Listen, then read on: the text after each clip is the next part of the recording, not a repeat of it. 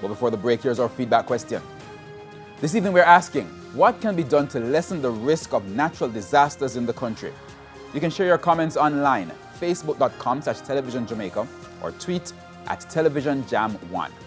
Please stay tuned. Primetime News returns right after this break.